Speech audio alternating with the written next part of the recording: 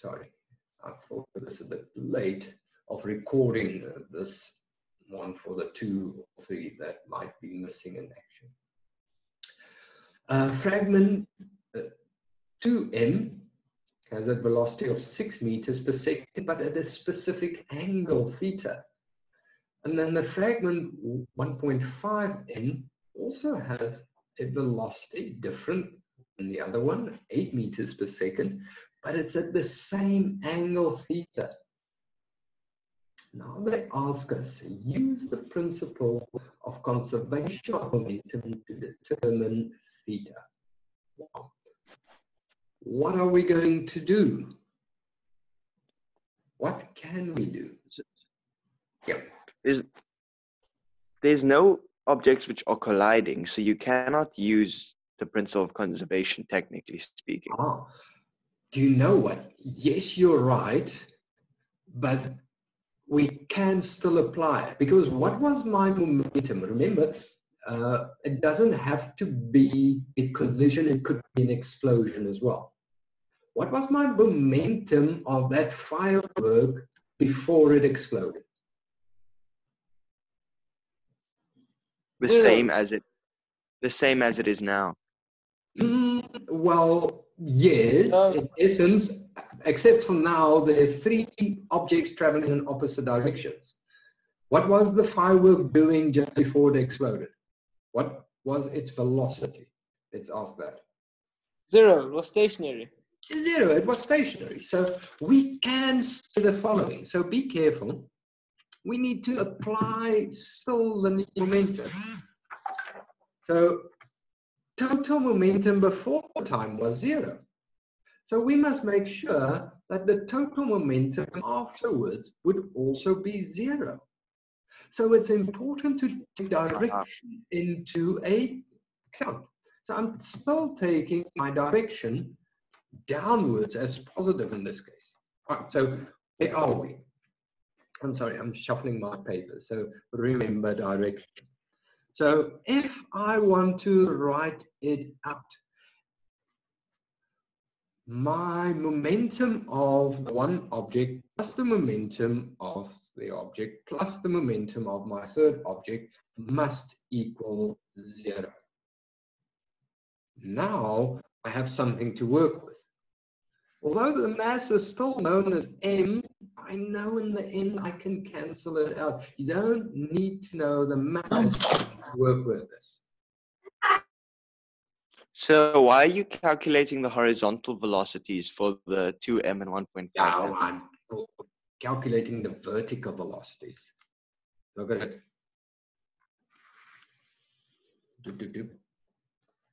I'm calculating velocity. Oh, you're drawing the triangles like that. Ah, okay. Yeah, okay. did it that way. So there's more than one way to skin this cat. Right, I'm going to do my way and I'm going to show another way or suggest another way that you can do it. So at this stage, I did the easiest one that I can do. There's my angle theta. I'm on the opposite side here. Why? Because this y component plus this y component must equal my momentum of my 3m goes upwards because then my linear momentum up and down should cancel and I would end up with zero. All right, so that's the theory. Let's see. I did my substitution into my formula.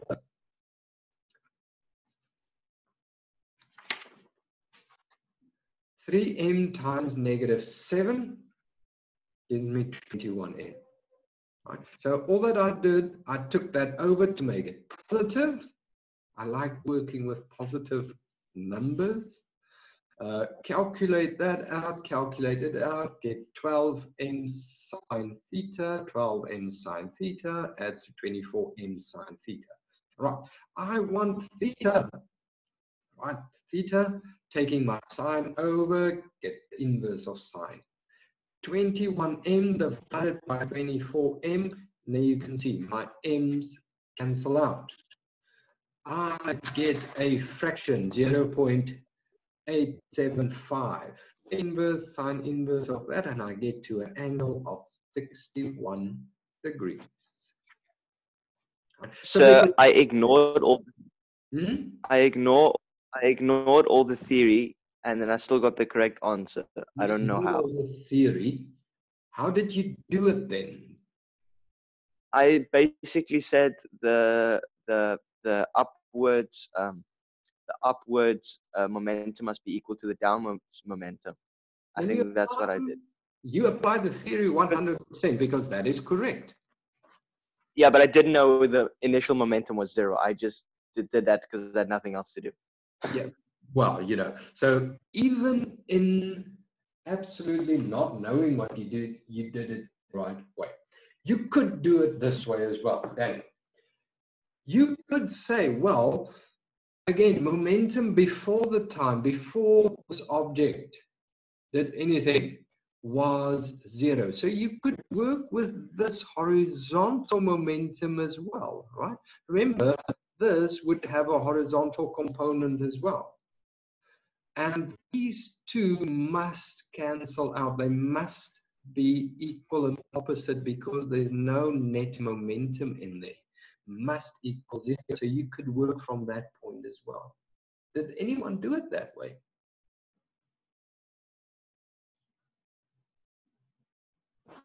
No, sir. What I did is I drew a I drew a vector diagram and then Mhm. calculated the angles. Perfect. You could do it that way as well. Remember, momentum is still a vector. So 100% you applied even more theory than you thought when you did that. Okay. So, Um, yes. so did you which which for like for what's the name resolving the components, eh? Yeah. Which one did you use? Did you use horizontal or I use Vertical. the vertical. I use the vertical one, the blue ones, uh, Liam. Just okay? So you didn't. Okay. I did that. It, it was the easiest way because I applied my theory of my conservation of momentum. So you need to remember, even if something has no momentum all the time, like the stationary firework, at the end it must also have zero momentum. And it makes sense because the one is moving down, or these two are moving down, and that one moving up must cancel out. Okay. Thank you, sir. No worries. Are the rest of you okay?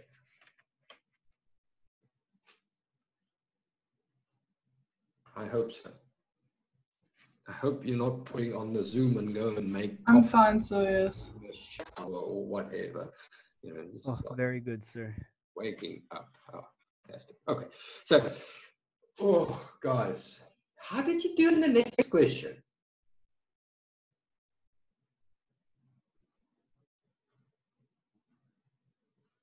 Question number three.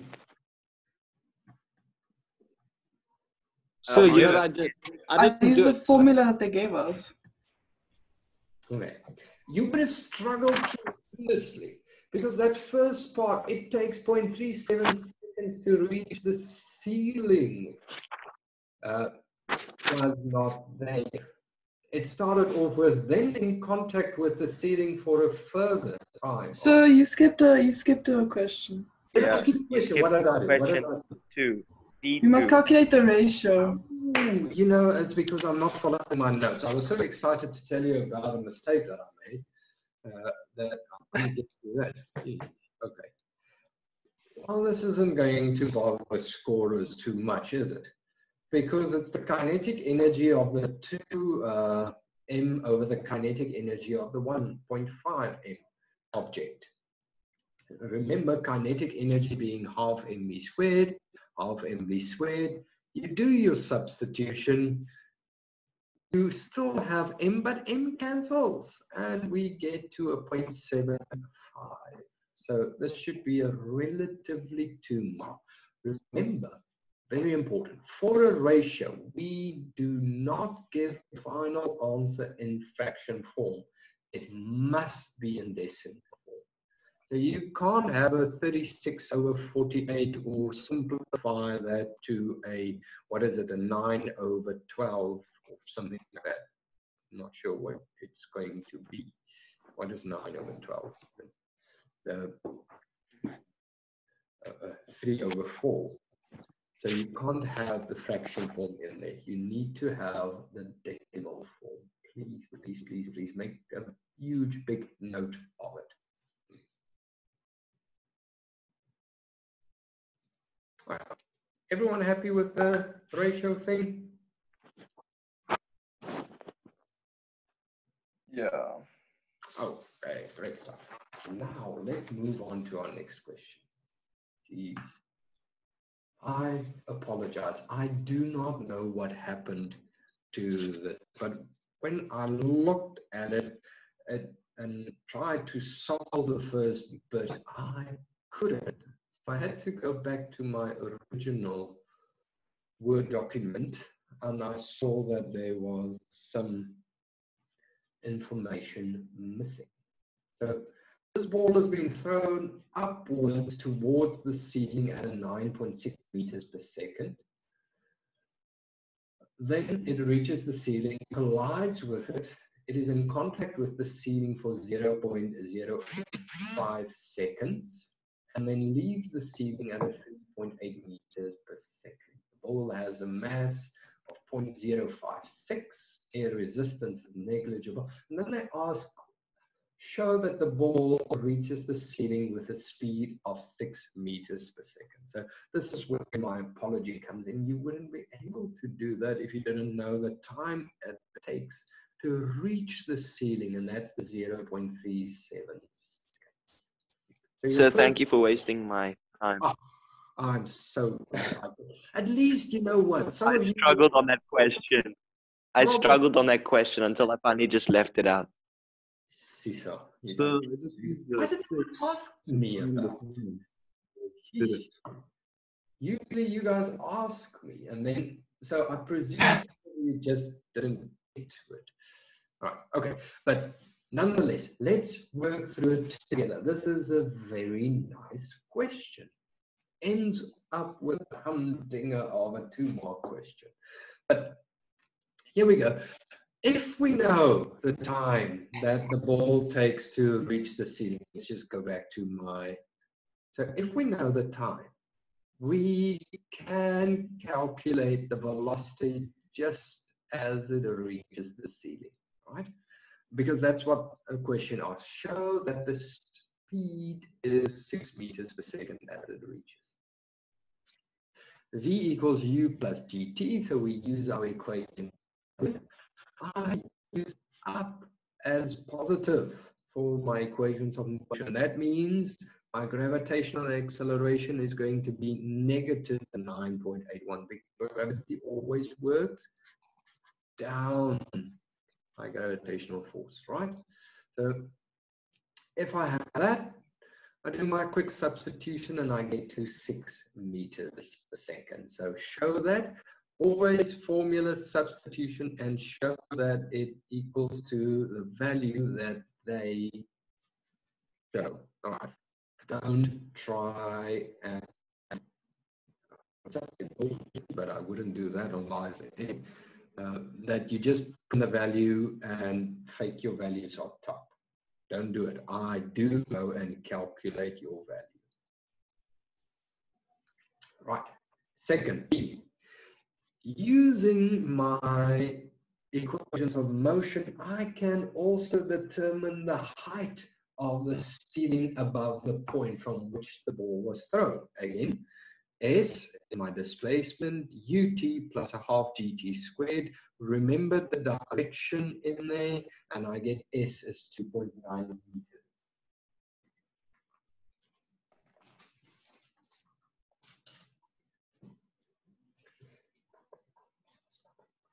Right. Obviously, you had huge problems with this because you didn't have the info. Right. So how about now? With C, they ask you, well, calculate the increase in gravitational potential energy. Right?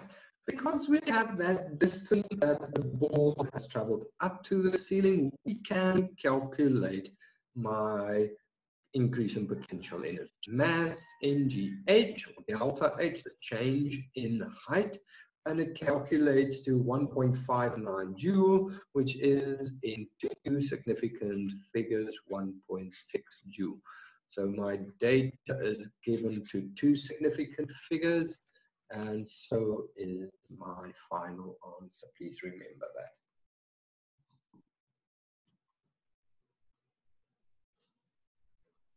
Can I move on?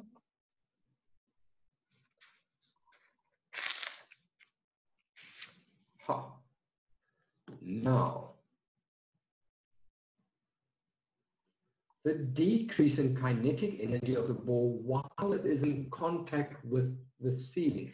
Now, this one you could have done because now they asked you to show that it is six meters per second just before it collides with the ceiling and is 3.8 just after it collides with the ceiling. Right? So, hmm, I do think there's something weird about this. Let me just quickly check 3.8. Did I take in consideration my direction?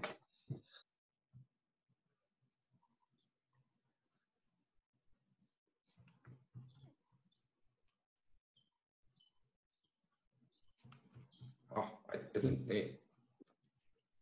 So when you calculate the change in velocity, Mhm. do you do you first um, subtract initial minus um, final and then square it, or first square them? No, square them. So it's final squared minus initial squared. Right? And we have Okay. the situation, just bear with me quickly. I think I made a bit of a error in here. So we have six meters per second moving up. All right. And then immediately after that moving down at a three meters per second. If down is positive, then up would be negative, it would be that, isn't it? Yeah. So when subtracted, we add it together. So that's squared and that's squared. Six. But hang on. Um, You get that times point zero five six equals that. Yep, times point five. Yep. So that's I forgot about my direction. Forgot about my direction in there. It wouldn't matter in any case, but do you know what? It's uh, you. It really doesn't matter. And I said it with my tongue into my cheek because it's just where the value comes in what you substituted because negative 6 squared is what? Says 36. What is 6 squared? It's 36 minus the 3.8 squared. So you had to subtract it in there. Uh, that's the only thing that I wanted to make sure, make clear. You know, the substituting the right values. Yes. why do you use six as your final velocity? Isn't six your initial velocity? Oh, yes. Sorry, I totally made a mock-up of that question, isn't it? Because 6 is my initial and 3.8 is my final. Let's just quickly get a new piece of paper here. Yeah. And you said you're not with it. What's wrong with you? Help me here. Delta EK is half m final squared minus initial squared. So we've got that. All right, we've got the six meters per second moving up, and we have the 3.8 meters moving down. We said down is positive, so this is negative six. Is that still okay? What I did over there?